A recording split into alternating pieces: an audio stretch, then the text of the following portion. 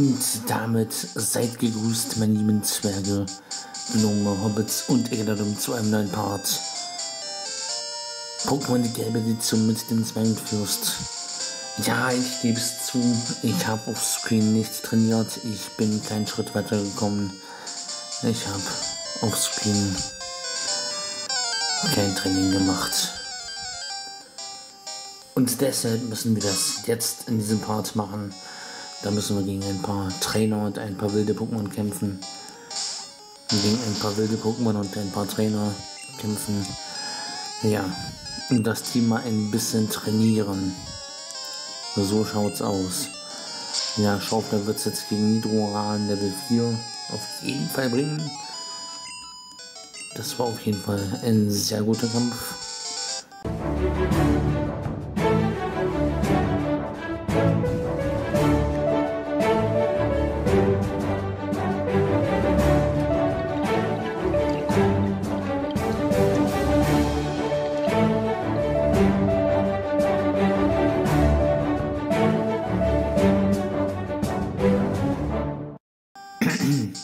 Viel gebracht als Training. Ja, dann schauen wir mal, wo wir jemanden finden, der mit uns kämpfen will. Ja, ein paar Kämpfer auf den Routen dieser Region. Und dann kann das Team ein bisschen aufgeputscht werden. Das war dann vielleicht irgendwann mal den Rivalenkampf gegen Gary schaffen. Das war das, das war den mal besiegen und weiter können. Und Zweitens, dass wir auch gewappnet sind für den Kampf in der Pokémon Top 4 Pokémon Liga. Ja, der wird nämlich ziemlich schwer und da sollten wir uns vielleicht da sollten wir uns vielleicht vorher vorbereiten, bevor wir uns da einfach ins Getümmel stürzen und einfach gegen die stärksten Trainer im, Land behaupten. Diese Pokébälle im Gürtel zeigen mir, dass du Pokémon besitzt. Es ist klasse, dass man jederzeit Pokémon tragen und einsetzen kann, nicht wahr? Ja, und das werden wir heute tun. Wir werden heute ein paar Pokémon tragen und einsetzen. Ja, finden wir irgendwo Leute, die kampfeswillig sind. Ich habe da schon so eine Idee, wo wir dahin fliegen können. Und da habe ich nämlich ein paar umgangen. Ich bin ja immer sehr äh, gut darin, Pokémon-Kämpfe zu umgehen. Trainerkämpfe meine ich natürlich. Hier gerade auf der Zinnoberinsel. Ich sag's mal so, da haben wir einige Kämpfe links liegen lassen. Hier auf dem Weg zurück. Da werden wir bestimmt einige finden, die kämpfen können. Und diese dürften auch schon einigermaßen stark sein. Ich glaube, da wagen wir uns heute mal hinein. Ja, wieder ein bisschen auf dem Wasser unterwegs, aber ja, da ist auch schon der erste, den wir nicht herausgefordert haben, den wir umgangen haben. Ah, genieße die Sonne und den Wind.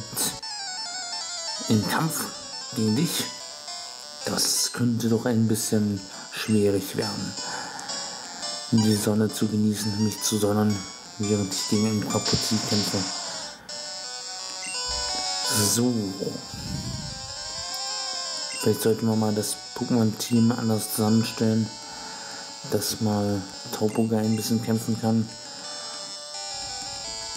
Los, Tauboga, Level 31 gegen Level 32. Ja. Kann gut gehen, muss aber nicht. Flügelschlag, na komm. Das wäre auf jeden Fall, das würde auf jeden Fall einiges an Erfahrungspunkten bringen wenn es schaffen würde, Quapuzi zu besiegen. Ja, mal schauen. Momentan sieht es nicht sehr gut aus für Tauburger, aber Fliegen kann vielleicht einiges ausrichten. Da mussten wir gerade den Bart kratzen. Jo, oha, Fliegen, das bringt auf jeden Fall was. Na dann, hoch hinaus, Tauburger. Du kriegst das hin. Hol dir die EP-Punkte. EP-Punkte ist eine Doppelung. Erfahrungspunkte. Nicht EP-Punkte. Okay, neues Level. tatsächlich, das hat's gemacht. Schwimmer wird's Tentacha in den Kampf schicken. Möchtest du das Pokémon wechseln? Nein, ich möchte erstmal mit Zauberer weiterkämpfen. Es kann ruhig ein bisschen ähm, fliegen. Na dann. Lass dich nicht besiegen, Tauboga. Stürzt dich auf das Tentacha. Wow, das ging gut. Ein paar Erfahrungspunkte und Seemon wird eingesetzt. Ich möchte weiterkämpfen. Auf geht's. Flieg. Flieg, Tauboga, flieg.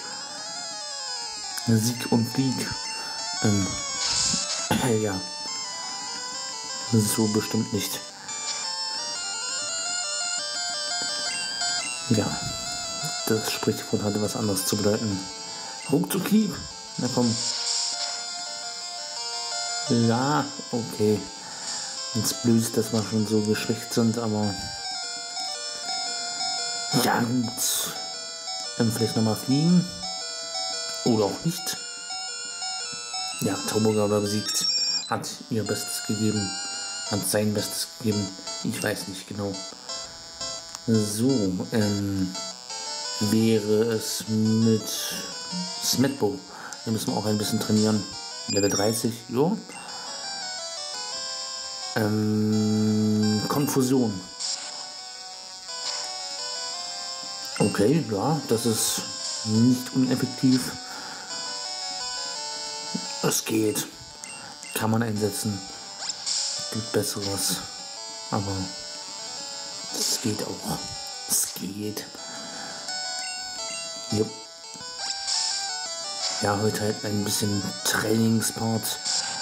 Kann nicht schaden, um mal das Team ein bisschen aufzupäppeln. Und dann brauchen wir auf jeden Fall ein paar Erfahrungspunkte für das Team. Ein paar neue Levels. Ja, das ist dringend notwendig bei den Levels meines Teams.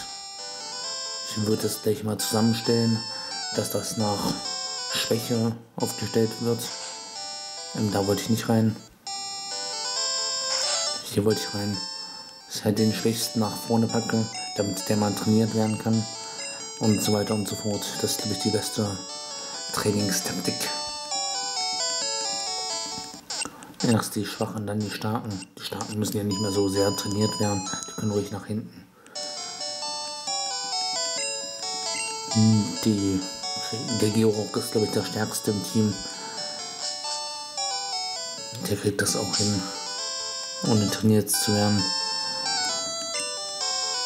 So, was haben wir hier? Level 47, wie gesagt, Georg, der stärkste mit Abstand. Schlock, Level 33, Glutex Level 32, Pikachu Level 30, Smetbo Level 30 und Traubuga Level 32. Ja, Pikachu ist, glaube ich, der schwächste. Smetbo auch nicht gerade stark, aber ja, da versuchen wir sie alle so ein bisschen hochzubringen. Vielleicht auf Level 40 werden wir heute nicht ein paar schaffen, aber hm, ja, wäre mal ein Ziel. Wir werden jetzt nicht 10 Parts lang trainieren. Vielleicht muss ich wirklich mal dazu kommen, das Offscreen trainiere. Aber ich komme auch nicht wirklich dazu. Ja, Georg. Tausch, der kommt nach ganz unten. So, 30. Da kommt Smetbo an der zweiten Stelle. Lutexo, dann haben wir Tauboga, Schlock, ja, passt eigentlich schon. Von der Levelanzahl her. Ja, kann man so machen. Das einmal kurz speichern. Schadet nicht, zwischendurch mal zu speichern. Alles klar. Na dann, geht's weiter. Wird weiter trainiert im Wasser. Auf dem Weg von den Inseln zur Pokémon Top 4. Nein, ich will die nochmal speichern. Nicht nochmal hier Sommerschluck schwimmen. Surfer.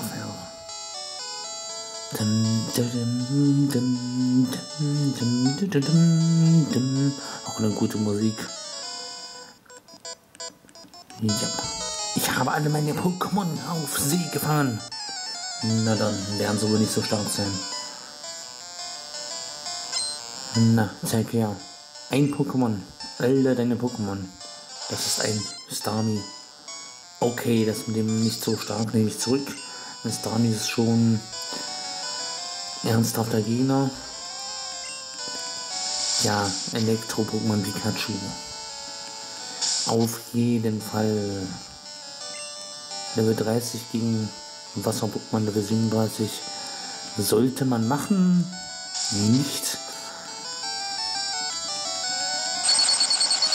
Vielleicht tausche ich es gleich ein. Und dann kriegt es vielleicht auch noch ein paar Erfahrungspunkte ab. Ja, Trobuga wäre hier eigentlich wieder dran, aber das Medbo, vielleicht kann es mit ein bisschen was hinkriegen. Na komm, lass dich nicht sofort besiegen. Das Medbo hält ein bisschen aus. Konfusion, mal schauen, was das so kann. Ich hoffe ein bisschen mehr als die Elektroattacken von Pikachu. Nein. Ist nicht der Fall. Aber Schlafpuder können wir einsetzen. Aber zumindest für die anderen, die nachfolgenden Pokémon schon mal einschläfern. Solarstrahl, wo es gerade schon schläft. Versuchen wir das mal. Badet im Licht. Ist aufgewacht. Ja. Oh, das bringt's. Nice. Schlafstrahl war cool. Level 31 für Smetbo. Nice. 31 für wen? Wahrscheinlich für Pikachu. Ja, sonst ist niemand Level 30. Cool. Das hat's, das hat's gebracht. Dieser Kampf war toll. Ja, ein paar Items hier. Hypertränke. Zwei Hypertränke. Naja. Das sollte man eigentlich nicht verschwenden. Aber nach diesen Trainern haben wir auf jeden Fall wieder ein bisschen Geld. Können wir uns was kaufen. Hoffe ich doch. Na, ist hier noch jemand, der uns herausfordern will? Hm, wilde Pokémon kommen da bestimmt gleich. Oh, zwei Angler. Die können wir herausfordern. Leiste mir Gesellschaft, bis etwas anbeißt. Gerne doch. Im Pokémon-Kampf. So, Angler möchte kämpfen. Gold King. Ja. Wo ist Pikachu? Ja, ist immer die beste Wahl. Ein Pikachu im Kampf gegen Wasser-Pokémon. Ja. Hm. Gibt optimalere Pokémon, die man einsetzen kann. Optimalere Übersetzungen. Aber gut, das, das könnte man hinkriegen. Das könnte, das könnte klappen. Also wie Blitz gerade eingeschlagen ist, äh, Donnerschock, nicht Blitz. Blitz schlägt gar nicht ein. Das ist eine sehr uneffektive Attacke, zumindest von der Offensivität her. Äh, ja. Das war ein Volltreffer, Pikachu besiegt. Alles klar. Dann wohl keine Punkte für Pikachu. Hätte er so gut schaffen können. Naja. So, Smetbo hält ein paar Erfahrungspunkte. Ist verwirrt. Was? Solarstrahl. Na komm. So, ein paar Erfahrungspunkte für den. Sehr gut. Es war noch kein neuer Level, aber immerhin. Also, kämpfe weiter. Ein Goldini. Solarstrahl. Das hat es bisher immer gebracht. Komm. Hat sich selbst verletzt. Ja gut. Folienschlag ging daneben. Ist nicht mehr verwirrt. Setzt Solarstrahl ein. Sehr gut. Superschall geht's daneben. Und Solarstrahl wird eingesetzt in der zweiten Runde. Na komm. Jo, das war nice. Erfahrungspunkte? Ja. Am kein neues Level. Ja, müssen wir wohl noch ein bisschen kämpfen. Das Medbook kann noch ein bisschen So, der nächste. Ich war nur sauer, weil ich noch nichts gefangen habe. Ach so, gegen den haben wir schon gekämpft. Ja, dann halt, ähm, dann schwimmen halt weitere. Deswegen steigt auf Schluck. Tja, dass der nicht untergeht. Ist ein Wunder, dass man mit dem surfen kann. Na gut, wir sind ein zehnjähriger Junge in diesem Spiel. So schwer dürfte dann nicht sein. Aber das kleine Schluck, hm, naja. Ein Tentatar. Blindes Tentatar. Smetto. Ja, auch ein Kampfwert. Na komm, es gibt vielleicht ein paar Erfahrungspunkte. Aquaknarre. Na komm, halt's aus. Solarstrahl. Und Barz. Ja, da habe ich mir was anderes vorgestellt. Aber gut. Komm, Smetbo. Halt aus. Noch einmal Solarstrahl.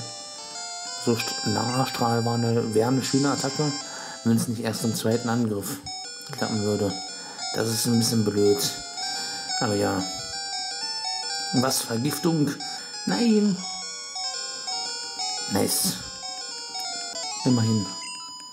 Äh, so. Was immer noch kein neues Level? Gibt's doch nicht. Kampf. Die See reinigt Körper und Seele. Ja, was mit kann nicht mehr kämpfen. Da kann die See so sehr noch die Seele reinigen.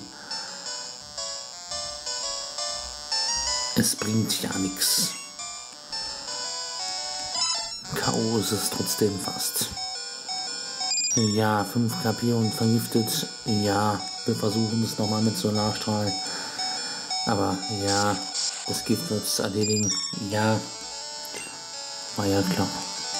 Glutexo, ja, das ist schon fast ein bisschen hoffnungslos. Simon. Ähm, wie wär's denn mit Stärke? Hm, besser als eine Feuerattacke. Aquaknarre. Uha, Hilfe. Da muss ich Angst vor haben. Mit Glutexo. Ja, das ist effektiv, ich weiß. Na komm, kriegen wir es trotzdem hin. Blubber. Mm. Schlecht. Ja, Glutexo besiegt. Hätte klappen können.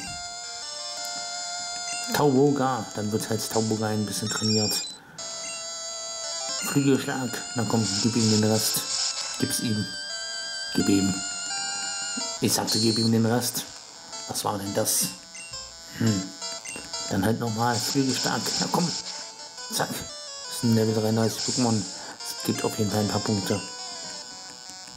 Aber noch ein neues Level. Tentoxer. Okay. Ich kämpfe weiter.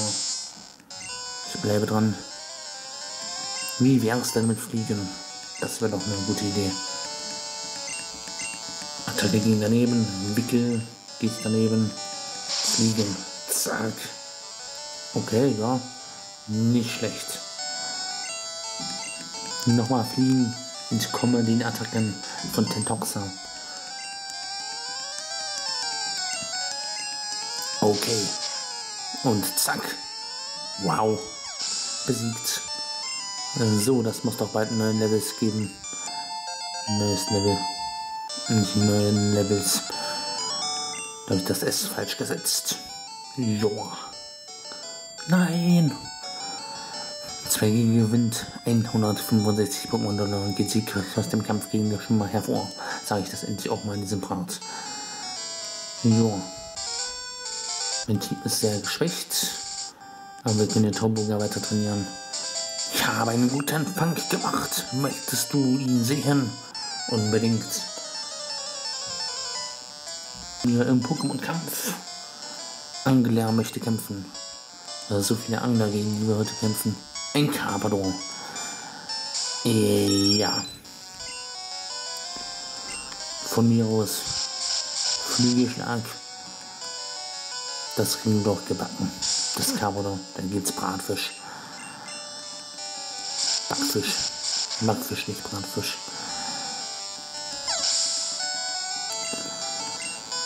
Ja. Oha, was zum... Hat der jetzt fünf weitere Carpador oder was? Sechs Carpador im Team. Ist der bescheuert oder was? Ein Team von der Carpador. Ja gut, so kann man auch trainieren. Das, ja. Ja. Ich will nicht sagen, dass das gut ist für ihn, aber für mich ist es gut. Bringt zumindest ein paar Erfahrungspunkte. Ja, nicht viele, aber herein. da klopft jemand von oben.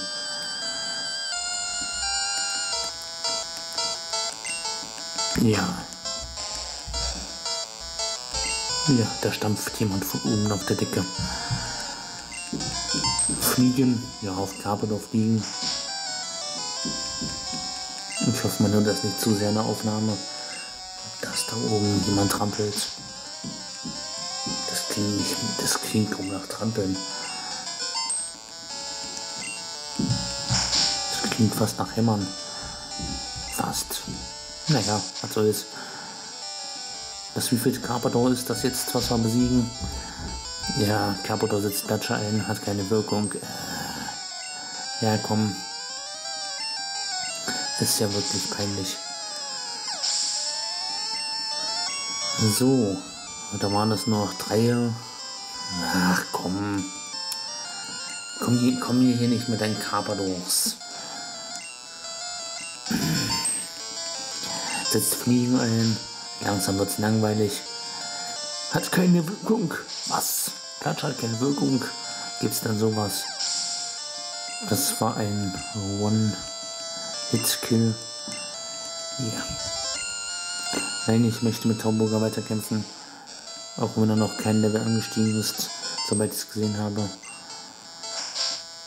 Bringt halt nicht viele Erfahrungspunkte, einen Carpador zu besiegen.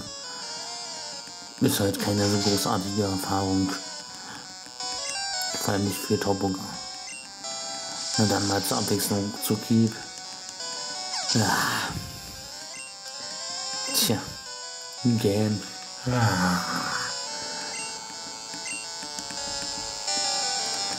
Carpador wird eingesetzt.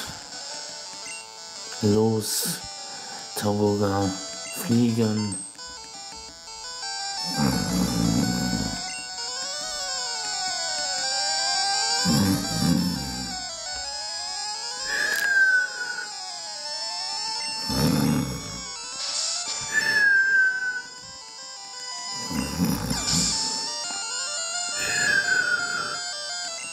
Was? Ist der Kampf schon vorbei? Mist, meine Carpador. Ja. Wir sind nicht im Level angestiegen. Möchtest du wissen, ob die Fische anbeißen? Ab, Raspelt. Na dann. Oh, hat der jetzt auch noch vier Carpador? Oh, nee. Oh, zum Glück ein Golking. Mal Abwechslung. Losfliegen. Mal Abwechslung, wo wir gerade dabei sind. Ja, gut. So wieder wach werden, weiterkämpfen. Der Carpador-Kampf war zu ermüdend und zu langweilig. Jetzt können wir mal wieder in Wallung kommen. Komm mal in Wallung, Tauburger. Auf geht's. Kämpfe. Bisher konnte noch keiner Tauburger irgendwie was anhaben. Nicht wirklich. Ja, hm. Ist gerade nicht sonderlich spannend. Tut mir auch leid. Aber ja, das ist als Training so ein bisschen gerade gegen Flappe, Wasser, Pokémon und Trainer. Ja, die Angler halt was soll man machen? Müssen wir heute mal ein bisschen Training machen. Vielleicht bringen wir es ja zu was und schaffen wir im nächsten Part. Versuchen wir vielleicht im nächsten Part wieder den Rivalen einmal zu besiegen. Und dann ja, vielleicht bringt das schon was. Dann können wir vielleicht weiter, können wir in der Story weitermachen. Wäre auch mal toll, in der Story wieder weiterzukommen. Level 34 für Torburger. Schön. So. So. Und weiterkämpfen. Gold King. Fliegen. Ja, Fliegen ist auf jeden Fall sehr gut.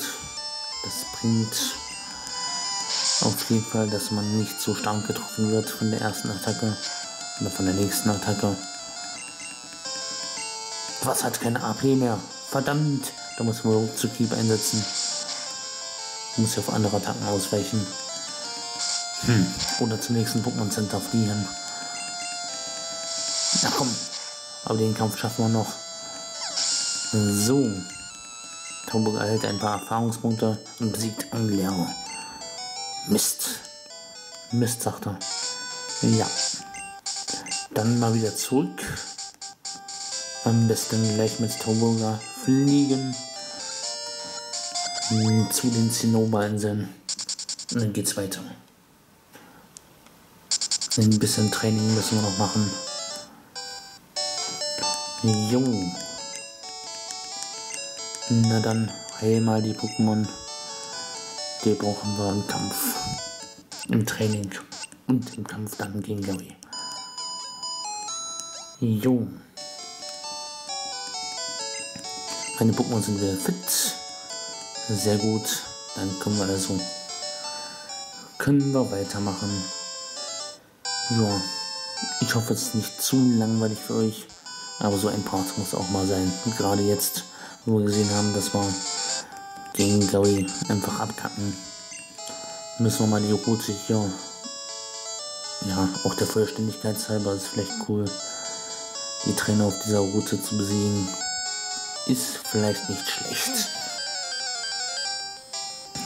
Jo. Ein Resistant Toucher. Level 5. Ja gut. Immerhin. Donnerschock. Na komm, das wird's doch besiegen. Level 5. Das bringt nicht viel, aber immerhin. So. Wie weit waren wir jetzt schon? Gekommen da waren auf jeden Fall hinten noch ein paar Angler. Level 15. Woher kam gerade das Level 5 her? Naja. Donnerschauk. Mach's kaputt. Oh, das klappte sogar. Das ist sehr cool.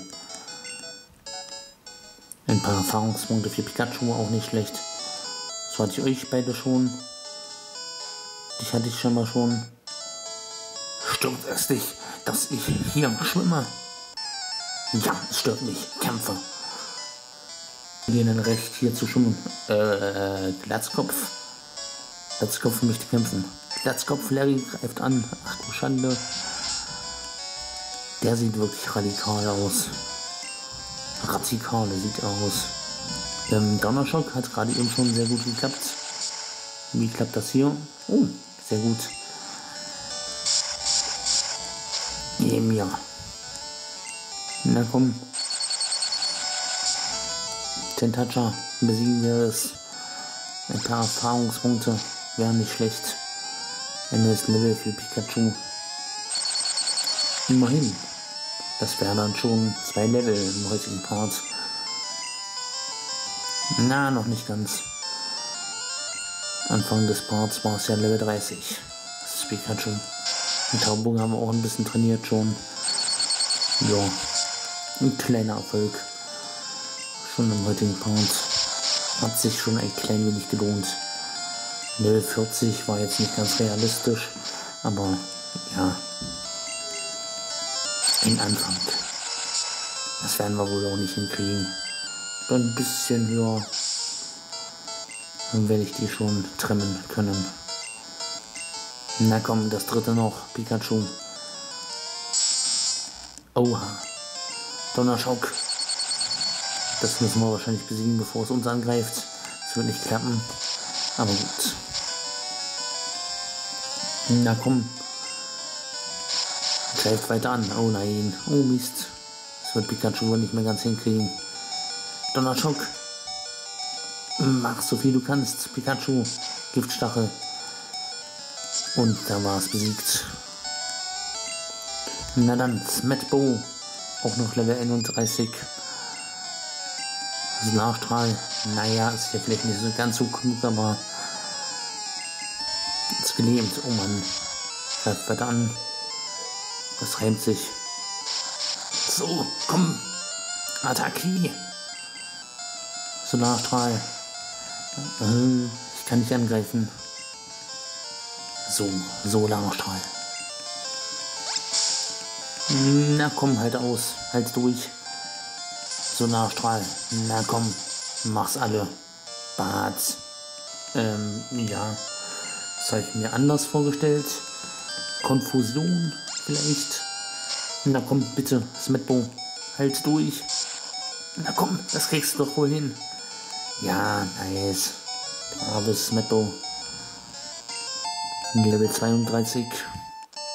Sehr gut. Besiegt Glatzkopf. Das war unter der Gürtellinie. Äh, ja. Bei dir möchte ich auf keinen Fall unter der Gürtellinie landen. Nee, da möchte ich nicht hinlangen im Kampf. Nicht unbedingt. Ja, ein wildes Pokémon. Ein wildes Tentacha. Smetbo. Ja, gut. Können wir noch versuchen. Solarstrahl.